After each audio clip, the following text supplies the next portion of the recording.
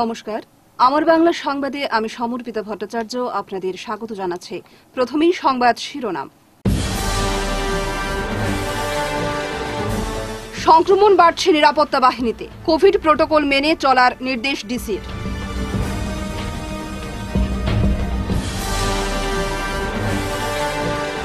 তিন স্কুল ছাত্রীকে অপহরণের চেষ্টা। দুই যুবককে উত্তম মধ্যম দিয়ে পুলিশে সমঝে দিলেন জনতা।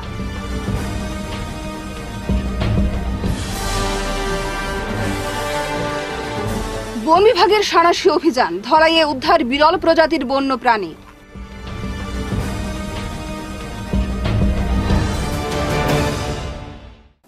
এবারে বিস্তারিত আমার বাংলা সংবাদ। কাছাড়ে পুলিশ ও নিরাপত্তা বাহিনীর জওয়ানদের মধ্যে ব্যাপক হারে করোনার সংক্রমণ ঘটছে। এতে গভীরভাবে উদ্বিগ্ন জেলা প্রশাসন। তাই পরিস্থিতি মোকাবিলায় কোভিড প্রোটোকল কঠোরভাবে মেনে চলতে নির্দেশ দিয়েছে জেলা প্রশাসন। বুধবার ডিস্ট্রিক্ট লেভেল কোঅর্ডিনেশন বা ডিএলসিসির সভায় জেলাশাসক কীর্তিজলি জেলার কোভিড পরিস্থিতির পর্যালোচনা করেন। বৈঠকে উপস্থিত ছিলেন নিরাপত্তা বাহিনীর বিভিন্ন স্তরের কর্মকর্তারা। সেখানে জেলাশাসক জলি নিরাপত্তা বাহিনীর প্রতিটি স্তরের কর্মীদের সরকারের বেঁধে দেওয়া নিয়ম মেনে চলার পরামর্শ দেন। বৈঠকে জেলার আইন শৃঙ্খলা পরিস্থিতির পাশাপাশি এবছরের স্বাধীনতা দিবস পালনের ব্যাপারেও আলোচনা হয়েছে। এই বৈঠকে উপস্থিত ছিলেন পুলিশ সুপার বানোয়ারিলাল মিনা, অতিরিক্ত জেলাশাসক রাজীব রায়, সুমিত সত্যবান স্বাস্থ্য বিভাগের যুগ্ম সঞ্চালক doctor Sudip Jyoti Das, district surveillance officer doctor Ibrahim Ahmed প্রমুখ। উত্তর পূর্বাঞ্চলের মধ্যে সবচেয়ে নোংরা শহর হল শিলচর। দুহাজার উনিশ সালের এক সমীক্ষায় উঠে এসেছে এ তথ্য। সম্প্রতি বিষয়টি সংবাদ মাধ্যমে প্রকাশিত হওয়ায় সর্বত্র চাঞ্চল্যের সৃষ্টি হয়েছে। শিলচর সবচেয়ে নোংরা শহরের এই শিরোপা পাওয়ায় ক্ষমতাসীন বিজেপি সরকারকে দায়ী করেছে কংগ্রেস। বুধবার শিলচর জেলা কংগ্রেস এক সাংবাদিক সম্মেলনে এ ব্যাপারে স্থানীয় বিজেপি নেতাদের তীব্র সমালোচনা করা হয়। প্রদেশ কংগ্রেস মুখপাত্র সঞ্জীব রায় এবং জেলা কংগ্রেস সম্পাদক অভিজিৎ পাল সাংবাদিকদের জানান, বিজেপি নেতৃত্বাধীন শিলচর পুরসভার চরম ব্যর্থতার জন্য শহরবাসীকে ফল ভুগতে হচ্ছে। কারণ, যে সময় এই সমীক্ষা চালানো হয়েছে, তখন পুরসভার দায়িত্বে ছিল বিজেপি। কেন্দ্রীয় সরকার সার্বিক উন্নয়নে কারি কারি টাকা খরচ করলেও স্থানীয় বিজেপি নেতৃত্বের দুর্নীতির জন্য উন্নয়ন মার খাচ্ছে, যার সর্বশেষ উদাহরণ হল নোংরা শহরের স্বীকৃতিপ্রাপ্তি।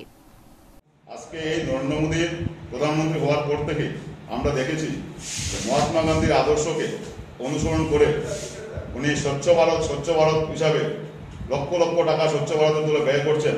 বড় বড় পোস্টার লাগানো হচ্ছে এবং সেই স্বচ্ছ ভারতের আওতায় শিলচর শহরেও দেখা গেছে যে স্বচ্ছ ভারত মিশন হিসাবে একটা অফিস বানানো হয়েছে এবং বিভিন্ন সময় বিভিন্ন এনজিওদেরকে নিয়ে এবং ওনাদেরই বিভিন্নভাবে বাঁকা পথে ওনাদের মানুষ দিয়েই দেখা যাচ্ছে যে ঘর প্রত্যেকটা ঘর থেকে শহরাঞ্চলে যেগুলা মানে যারা আছেন, ওনাদের প্রত্যেকের ঘর থেকে মাসে মাসে একশো টাকা করে আদায় করা হচ্ছে সেই পরিষ্কার পরিচ্ছন্নর জন্য। এবং প্রত্যেকটা ইয়েতে দেখা যাচ্ছে যে আরও ওয়ান পার্সেন্ট করে স্বচ্ছ ভারত ট্যাক্স হিসাবে নেওয়া হচ্ছে মানুষের উপর থেকে। কিন্তু পরবর্তীতে আমাদের শহর সবচেয়ে নোংরাতম শহর। তো সেই হিসাবে আমরা আজকে যদিও মিউনিসিপ্যালিটি বোর্ড নেই, কিন্তু এই যে সার্ভেটা হয়েছিল, সেটা দু হাজার উনিশের সার্ভে এবং রিপোর্টটা ইদানিংকালে আসছে রিপোর্টটা, ইয়েতে ডাটা এন্ট্রি হয়েছে এবং রিপোর্টটা হয়তো পত্রপত্রিকায় বের হয়েছে। সেই দুই হাজার উনিশে কিন্তু মিউনিসিপ্যালিটি বোর্ডটা বিজেপি পরিচালিত বোর্ড ছিল। সেই বোর্ডে যে কত- কতটুকু ব্যর্থতা এবং মেয়ার ঠাকুরের সেই ব্যর্থতা এবং শিলচরের বিধায়কের যদিও মুখে বড় বড় কথা, কিন্তু ওনাদের ব্যর্থতা আবারও জনসাধারণের সামনে মানে চলে আসছে। তাই আজকে আপনাদের মাধ্যমে আমরা দিলীপ পাল মহাশয়কে আহ্বান করছি জেলা অধিপতিকে আহ্বান করছি, যেহেতু এক্স অফিসিও মেম্বার হিসাবেও মিউনিসিপ্যালিটি বোর্ড দিলীপ পাল মহাশয় ফেল করেছেন। বিজেপি নেতৃত্বাধীন মিউনিসিপ্যালিটি বোর্ড ফেল করেছে। তাই আজকে জেলা অধিপতি স্মরণ রয়েছে আমরা। শিলচর শহরকে বাঁচাতে হলে স্বচ্ছতা বজায় রাখতে হবে এবং আজকে শিলচর শহর নর্দমার শহর হয়ে গেছে, জঞ্জালের শহর হয়ে গেছে। এটা থেকে মুক্ত পেতে আজকে আমরা এই প্রেস মিটের মাধ্যমে আমরা জেলা আধিপতিকে অনুরোধ করছি, অতি সত্তর স্টেপ নিয়ে মিউনিসিপ্যালিটি বোর্ডকে যাতে কাজে লাগিয়ে এই প্যান্ডামিক থেকে শিলচর শহরকে রক্ষা করা। আসাম বিশ্ববিদ্যালয় কর্তৃপক্ষের তুগলুকি কাণ্ডের বিরুদ্ধে ফের মুখ খুলেছে আকসা। বুধবার সংগঠনের পক্ষে এক সাংবাদিক সম্মেলনে বিশ্ববিদ্যালয়ে অনলাইনে পরীক্ষা সম্পন্ন করার জন্য ফের জোরালো আর্জি জানানো হয়েছে। আকসার উপদেষ্টা রূপম নন্দীমের বিষয়টি উল্লেখ করে বলেছেন, বর্তমান অতিমারী পরিস্থিতিতেও ঘোলা জলে মাছ ধরতে চাইছে বিশ্ববিদ্যালয় কর্তৃপক্ষ। যখন পড়ুয়ারা নিজেদের বাড়িতে তখনও খাতায় কলমে সেমিস্টারের পরীক্ষা নেওয়ার নির্দেশ দেওয়া হচ্ছে। এ ব্যাপারে বিশ্ববিদ্যালয়ের উপাচার্য সহ শিক্ষা বিভাগের কর্মকর্তাদের কাছে একটি স্মারকপত্র পাঠানো হয়েছে বলে রূপম উল্লেখ করেন। আমাদের একটাই জিজ্ঞাসা বিশ্ববিদ্যালয় কর্তৃপক্ষ ডিনস কমিটির সভায় যে সিদ্ধান্ত নেওয়া হয়েছিল সেটা ছাত্র স্বার্থের পক্ষে। হঠাৎ করে ইউ টার্ন নিয়ে এবং ডিনরা, ডিন কমিটি কে অন্ধকারে রেখে, কার স্বার্থ চরিতার্থ করার জন্যে বিশ্ববিদ্যালয় কর্তৃপক্ষ ছাত্রদের উপর একটা ফতুয়া জারি করেছেন। আকশা সেটা স্পষ্টীকরণ চায়। আকশা ইউজিসি এমইচআরডিকেও তার মনোভাবের কথা জানিয়ে দিয়েছে। এবং আমরা কোনো অবস্থায় ছাত্রদের ভবিষ্যৎ নিয়ে ছিনিমিনি খেলা হোক, আমরা সেটা মেনে নেব না। আমরা পেন পেপারের যে পরীক্ষা সেটা কোনো অবস্থায় আমরা সেটাকে বরদাস্ত করব না। আমরা অনলাইন পরীক্ষা হোক, আমরা তার বিরুদ্ধে নই। কিন্তু জোর করে যদি কিছু চাপিয়ে দেওয়া হয়, তার ফল হবে মারাত্মক। এবং এই বিশ্ববিদ্যালয় আপনারা জানেন, এই কাছাড় করিমগঞ্জ হাইলাকান্দি এনসিল কার্বি আংলং, এই পাঁচ জেলার মানুষের আন্দোলনের ফসল। এবং একে নিয়ে আপনারা আপনাদের যা খুশি তা করতে যাবেন না। কোয়ারেন্টাইন সেন্টার ব্যাপারে জেলা প্রশাসনের উপর অযথা আপনারা প্রেশার ক্রিয়েট করতে যাবেন না। কোয়ারেন্টাইন সেন্টার নিয়ে বিশ্ববিদ্যালয় কর্তৃপক্ষকে আশ্বাস জানিয়ে দিতে চাই। এটা কোনো চিঠি জেলা প্রশাসনকে লেখার আগে চিন্তা করবেন। প্রথমে মানুষের জীবনের মূল্য, তারপর বিশ্ববিদ্যালয়। মানুষকে বাঁচাতে হবে। যদি মানুষই না থাকল, তাহলে বিশ্ববিদ্যালয় দিয়ে কি হবে? এখানে মানুষকে বাঁচানোর জন্য জেলা প্রশাসন কোয়ারেন্টাইন সেন্টার রেখেছে। আপনাদের আপত্তি কিসের? তিন স্কুল ছাত্রীকে অপহরণের চেষ্টা। গণধোলাই দিয়ে পুলিশের সমঝে দেওয়া হলো দুই যুবককে। তবে তাদের এক সঙ্গী পালিয়ে যেতে সক্ষম হয়। মঙ্গলবার দশম শ্রেণি পড়ুয়া তিন কিশোরীকে অপহরণের চেষ্টা করে ওই তিন যুবক। ধলাই থানা এলাকার বিদ্যারতনপুরে ঘটনাটি ঘটে। অপহরণকারী যুবকদের রেবুল হক লস্কর, রবাজুল হক লস্কর, নজমুল হক লস্কর বলে শনাক্ত করা হয়েছে। জানা গেছে হিন্দিভাষী দুই কিশোরী ও এক মণিপুরী সম্প্রদায়ের কিশোরীকে অভিযুক্ত তিন যুবক টানা হ্যাঁচড়া শুরু করলে তারা চিৎকার জুড়ে দেয়। সঙ্গে সঙ্গে জড়ো হতে থাকেন স্থানীয়রা। তারা তিন যুবককে ধরে উত্তম মধ্যম দিতে শুরু করেন। কিন্তু ফাঁক গলে পালিয়ে যায় নজমুল হক লস্কর। তবে দুজনকে পুলিশের হাতে তুলে দিতে সক্ষম হন জনগণ। যে দুই যুবককে পুলিশে তুলে দিতে সক্ষম হয়েছেন জনগণ, তাদের দুটি বাইকও এদিন জব্দ করেছে পুলিশ। বাইক দুটির number A S one one R six two seven one এবং A S one one S seven two five seven এদিকে, এ ঘটনার তীব্র নিন্দা জানিয়ে ধৃত দুই অপরাধীর দৃষ্টান্তমূলক শাস্তি প্রদান সহ পলাতকদের শীঘ্রই গ্রেফতারের দাবি জানিয়েছে হিন্দু জাগরণ মঞ্চের নরসিংপুর ব্লক সমিতি। পরে এ নিয়ে ধলাই থানায় এক মামলাও দায়ের করা হয়েছে। মিজোরাম থেকে পাচারের পথে ধলাইয়ের লায়লাপুরে বিরল প্রজাতির কিছু বন্যপ্রাণী উদ্ধার হয়েছে। বন বিভাগের শিলচর ডিভিশনের অধীন হাওয়াইথাং রেঞ্জের লায়লাপুর বিটের বন কর্মীরা রুটিন প্যাট্রোলিং এর সময় লায়লাপুর থেকে এসব বন্যপ্রাণী উদ্ধার করেন। মিজোরাম থেকে আসা TS zero eight UB one six two two নম্বরের লরিতে তল্লাশি চালিয়ে এই সাফল্য পান তারা। সেই সঙ্গে তারা আটক করেন লরিসহ দুই চালক নরসিমা রেড্ডি ও নবনাথ টুকারাম ভাইগটকে। পরে তাদের নিয়ে আসা হয় হাওয়াইথাং রেঞ্জের ধলাই কার্যালয়ে। উদ্ধার হওয়া বন্য প্রাণীগুলোর মধ্যে রয়েছে একটি কাঙারু, ছটি তোতাপাখি তিনটি কচ্ছপ ও দুটি বানর।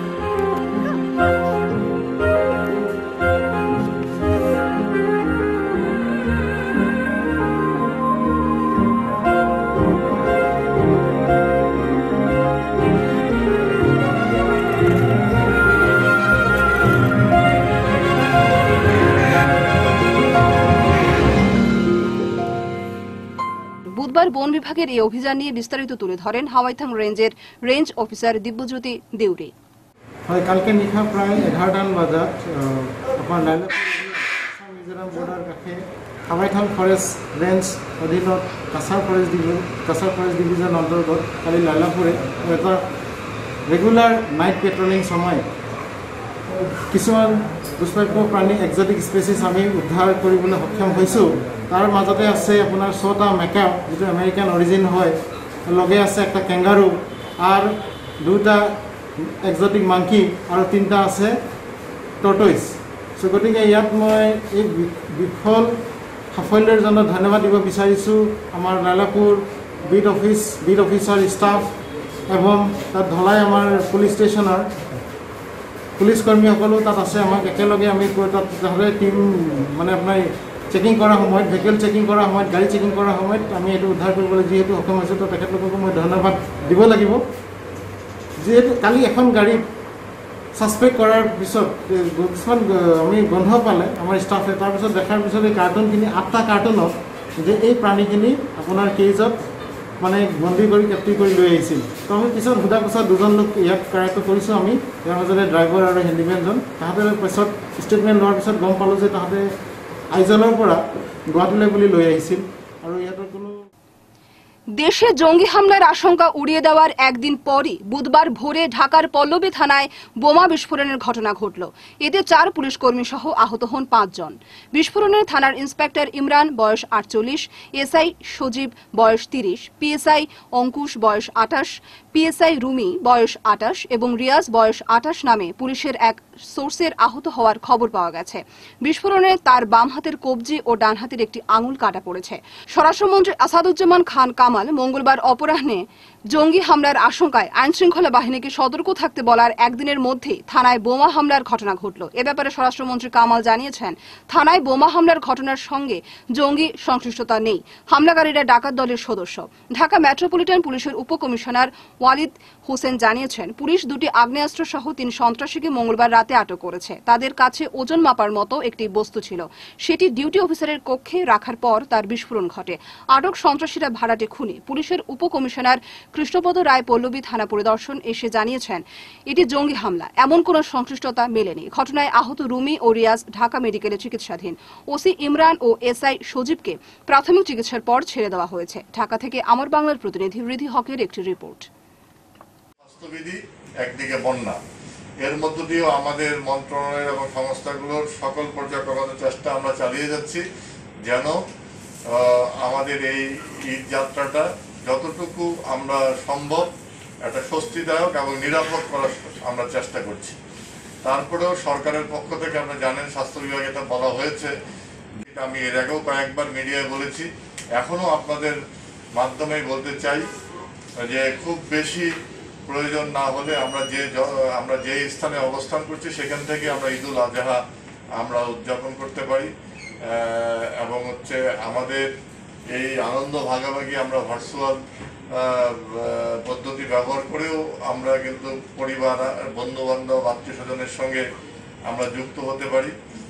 কাজেই আমি আমি বলব যে আমাদের দুইটা পরিস্থিতি, একটা হচ্ছে কোভিড নাইন্টিন স্বাস্থ্যগত বিষয়টা আমাদেরকে অবশ্যই আমলে নিতে হবে। জমি বিক্রি করে সেই জমিকেই আবার জবরদখল করার অভিযোগ উঠল দুই ভাইয়ের বিরুদ্ধে। তারা হলেন মেনুল হক বরলস্কর এবং ফৈজুল হক বরলস্কর। ঘটনাটি ঘটেছে পুটিছড়া বিজয়পুর গ্রামে।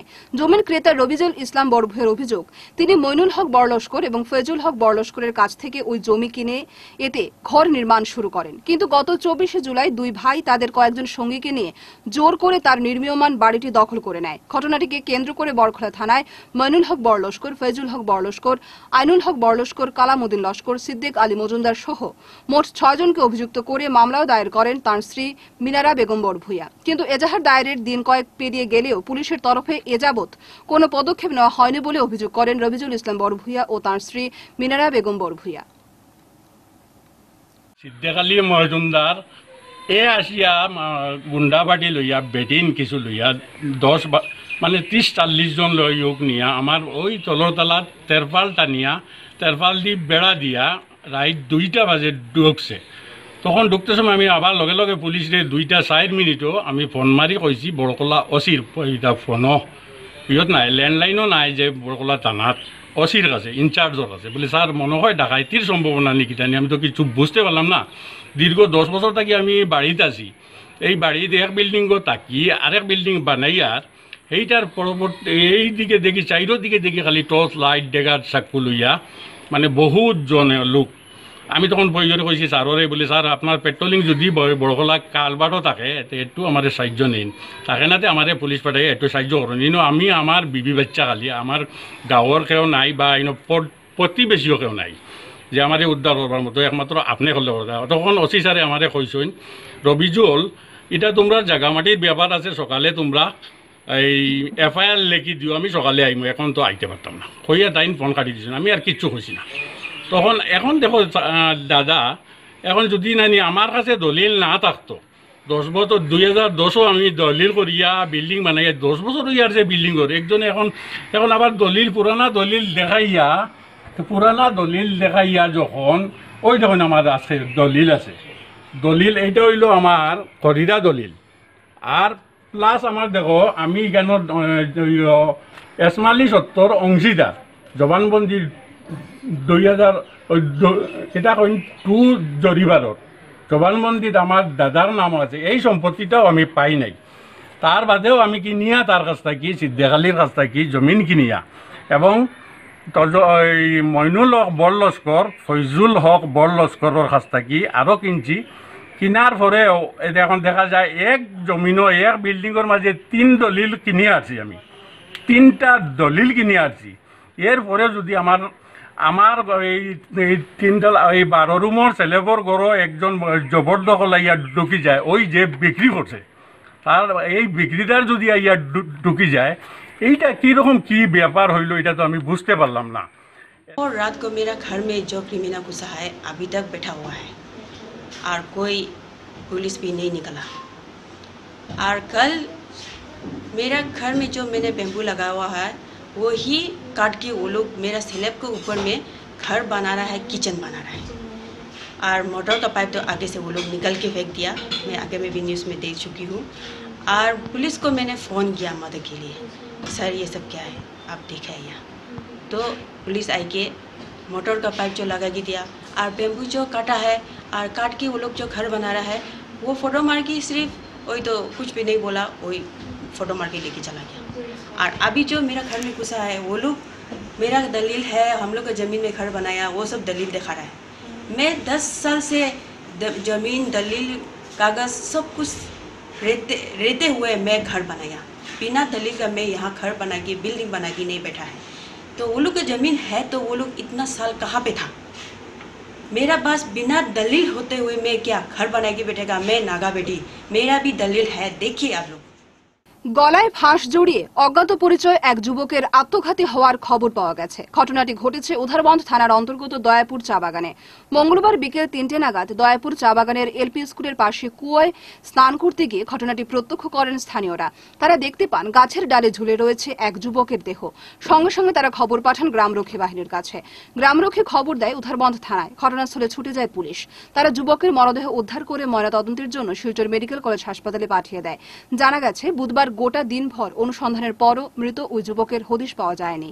গতকালকে আঠাইশ তারিখ, আঠাইশ সাত বিশ ইংরেজি বিকাল অনুমান সাড়ে চার ঘটিকার সময় খবর পাওয়া দেওয়াপুর বাগান হইতে খবর পাওয়া যায় যে একজন অচিনাকি মানুষ হ্যাঁ একটি বাগানের জঙ্গলের একটি গাছের ডালের মধ্যে ফাঁস লাগিয়ে মারা গেছে। হ্যাঁ তো ঘটনাস্থলে গিয়া ওই ব্যক্তির কোনো ধরনের কোনো তার পরিচিত মানুষ পাওয়া যায় নাই। হ্যাঁ গতিকে আজকে সকালবেলা এটা মানে আমাদের ম্যাজিস্ট্রেট দ্বারা ইনকোয়েস্ট করাইয়া মেডিকেলে পিএম করাইয়া মানে প্রিজার্ভেশনে রাখার জন্য পাঠানো শিলকুড়ি বরমবাবা মন্দির প্রাঙ্গণে কৃষ্ণ মন্দিরের শিলান্যাস হয়েছে। বুধবার মেহেরপুরের রামমূর্তি যাদব ও তার পরিবার রাজ্য সরকারের কোভিড প্রোটোকল মেনেই ওই শিলান্যাস কার্য সম্পন্ন করেন। রামমূর্তি যাদব কৃষ্ণ মন্দির নির্মাণের জন্য বরমবাবা মন্দির কমিটির কাছে প্রস্তাব রাখলে মন্দির কমিটি তা মেনে নেয়। এদিন দুপুর একটা নাগাদ বরমবাবা মন্দির কমিটির সভাপতি ধ্রুবনাথ সিং সহ অন্যান্য সদস্যদের উপস্থিতিতে যাদব পরিবার ও শিলান্যাস অনুষ্ঠান সম্পন্ন করেন। কৃষ্ণ মন্দির কা শিলান্যাস হওয়া जो सिलचर के मेहरपुर। मेहरपुर के इनका पिताजी का नाम किनका नाम से करेंगे? हैं। राम मूर्ति यादव द्वारा ये मूर्ति का ये मंदिर का प्रस्ताव रखा थे। तो उसी का आज शुभारंभ हुआ। उन्होंने पूरा मंदिर बना के ब्रह्म बाबा मंदिर परिचालना कमेटी को सौंपेंगे और वो भव्य मंदिर बनाएँगे, ये हम लोग का आशा है। उनको उनको और उनके पूरा परिवार को इस मंदिर बनाने के लिए धन्यवाद दे रहे हैं। বিজেপির দুর্দিনের সময় পুর নির্বাচনে প্রতিদ্বন্দ্বিতা করার জন্য মনোনীত প্রার্থীদের বাড়ি বাড়ি গিয়ে সংবর্ধনা জানিয়েছেন বিজেপি জেলা সহসভাপতি দীপায়ন চক্রবর্তী। পাশাপাশি এদিন তাদের স্বাস্থ্যের খোঁজ নেন দীপায়ন। সেই সঙ্গে করোনা দুর্যোগের কথা মাথায় রেখে তাদের হাতে একটি করে মাস্ক ও স্যানিটাইজার তুলে দেন দীপায়ন। যাদের আজ সংবর্ধনা জানানো হয়েছে তারা হলেন দুই নম্বর ওয়ার্ডের প্রাক্তন পুর কমিশনার হেনারানী সিনহা, তিন নম্বর ওয়ার্ডের বাবলা দাস, এক নম্বর ওয়ার্ডের নিত্যানন্দ দাস, চার নম্বর ওয়ার্ডের প্রাক্তন পুর কমিশনার কল্যাণী সিংহ, পঁচিশ নম্বর ওয়ার্ডের প্রাক্তন পুর কমিশনার শেফালিকা লস্কর, ওই ওয়ার্ডেরই রণধীর দাস এবং মঞ্জুল দেব, ছাব্বিশ নম্বর ওয়ার্ডের ভারতী দত্ত। এদিন দীপায়নের সঙ্গে ছিলেন মহিতুষ মণ্ডল শুক্লাদেব রাজেশ দাস, বিজেন্দ্র প্রসাদ সিং, বিপ্লব দেবনাথ, প্রদীপ মণ্ডল সহ আরও অনেকে। ঈদুজ্জোহায় সরকারের নির্দেশ অনুযায়ী জনসমাগম না করার আহ্বান জানালেন মৌলানা সারিমুল হক লস্কর। বুধবার বিকেলে নিজের বাড়িতে এক সাংবাদিক সম্মেলন করে মুসলিম ধর্মাবলম্বীদের প্রতি এই বার্তা দিয়েছেন উত্তর পূর্বাঞ্চল আহলে সুন্নত ওয়াল জামাতের কেন্দ্রীয় মুখ্য উপদেষ্টা মৌলানা সারিমুল জনগণের প্রতি আবেদন। প্রথম আগস্ট, শনিবার ঈদুল আজহা। এই ঈদুল আজহা কুরবানির দিন। এ সম্পর্কে আমাদের আহলে সুন্নত, উত্তর পূর্বাঞ্চল আহলে সুন্নতের জমাতের তরফ থেকে বিবৃতি দেওয়া হয়েছে। ঈদের দিন সচরাচর বেশিরভাগ মানুষ জমায়েত হন। তো সর্বপ্রথমে আমি জানিয়ে দিচ্ছি, আমাদের হাইলাকান্দি টাউন দক্ষিণ ঈদগাহে কোনো ঈদের নমাজ হবে না।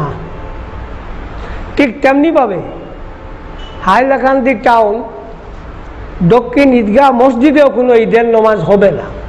কারণ সরকার প্রদত্ত নিয়মাবলী মানা, মানিয়ে নমাজ পড়া মোটেই সম্ভব নয়। তাই আমরা অনুরোধ করে করছি যে আপনারা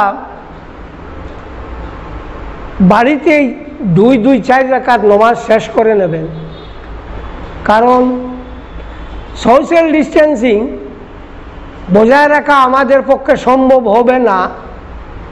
নমাজে দাঁড়ানে দাঁড়ানোর পর বেশিরভাগ মানুষ এসে দাঁড়িয়ে যাবেন, যা সরকার প্রদত্ত আইনের সরাসরি বিপরীত। এবং ইসলামও আমাদেরকে এরূপ করতে বারণ করেছে। সরকার বলছে সোশ্যাল ডিস্টেন্সি ডিস্টেন্সিং বজায় রেখে আপনারা তিনজন, পাঁচজন কিংবা তো বেশ থেকে বেশ দু, বিশ জন নমাজ পড়তে পারেন। সোশ্যাল ডিস্টেন্সিং বজায় রেখে যদি আমরা নমাজ পড়ি, তো হদিস শরীফের রুটটা হবে। হদিস শরীফে আসে আসে তালা চাকু তোমরা একে অপরের সঙ্গে লাগিয়ে লাগিয়ে দাঁড়াও। আর সরকার বলছে সোশ্যাল ডিস্টেন্সিং বজায় রেখে দাঁড়াও। বা ফিজিক্যাল ডিস্টেন্সিং বজায় রেখে দাঁড়াও তাহলে দুটা জিনিস দুই মেরুতে হয়ে গেল। তাই আমাদের এরূপ নমাজ পড়া অত্যন্ত অসুবিধাজনক হবে। হ্যাঁ আমরা বাড়িতেই নমাজ শেষ করব। তো আমাদেরকে এদিকে খেয়াল রাখতে হবে, যাতে করে অযথা ভিড় না বাড়ানো হয় এবং অযথা ভিড় বাড়ানোই এই যে করোনা নামে একটি মারণ ব্যাধি সেই মারণ ব্যাধির উৎসে, উৎসের কারণ। তাই আমরা এই মারণ ব্যাধির উৎসকে সমূলের ধ্বংস করার জন্য চেষ্টা করব এবং আমরা আমাদের সোশ্যাল ডিস্টেন্সিং আমি বলছি সোশ্যাল ডিস্টেন্সিং নয় ফিজিক্যাল ডিস্টেন্সিং ফিজিক্যাল ডিস্টেন্সিং বজায় রেখে আমরা আমাদের কাজ চালিয়ে যাব। এজন্য আমরা ভিড় করব না। আসন্ন ঈদুজ্জোহা উপলক্ষে দুস্থ অসহায়দের খাদ্য সামগ্রী বন্টন করল social service foundation of Ratabari. বুধবার সংগঠনের কর্মকর্তাদের উদ্যোগে রাতাবাড়িতে সত্তরটি অসহায় পরিবারের হাতে খাদ্য সামগ্রী তুলে দেওয়া হয়।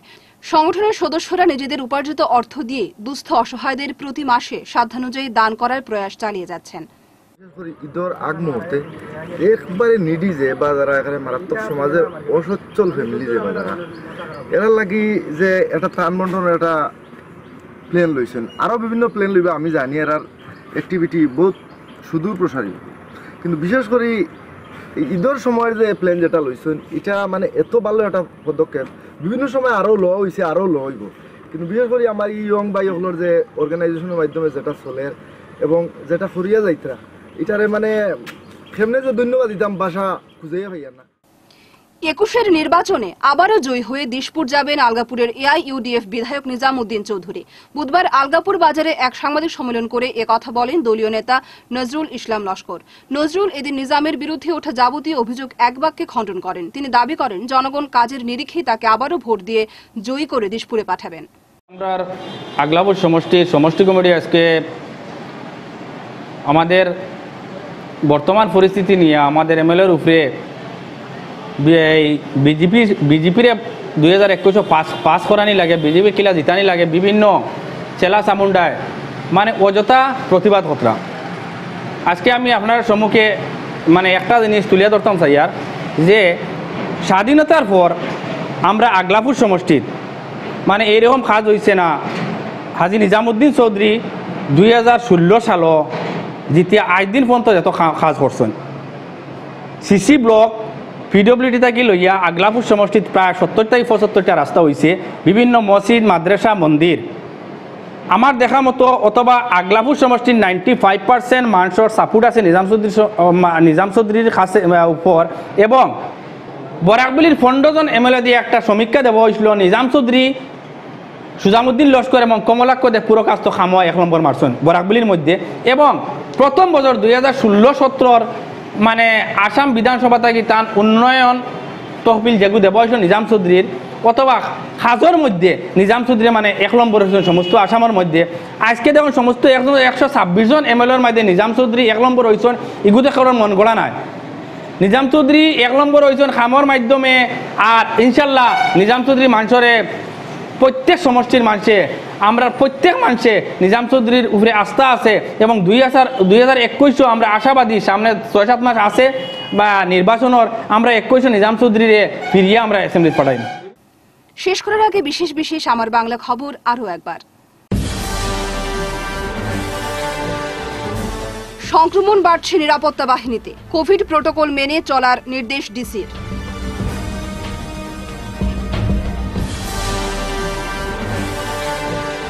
তিন স্কুল ছাত্রীকে অপহরণের চেষ্টা। দুই যুবককে উত্তম মধ্যম দিয়ে পুলিশে সমঝে দিলেন জনতা।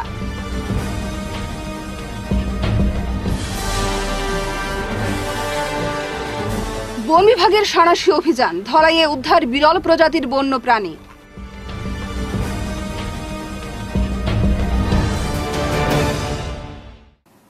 এখনকার মতো আমার বাংলা সংবাদ, এ পর্যন্তই। নমস্কার।